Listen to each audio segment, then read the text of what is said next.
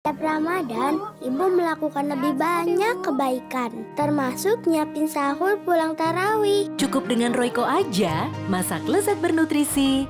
Ungkep ayam menyerap sempurna. Hmm, favorit aku kan, Bu?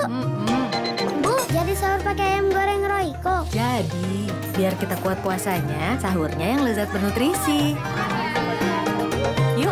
Cukup dengan Royco aja. Lezatkan ayam goreng saat sahur tanpa tambahan bumbu lain.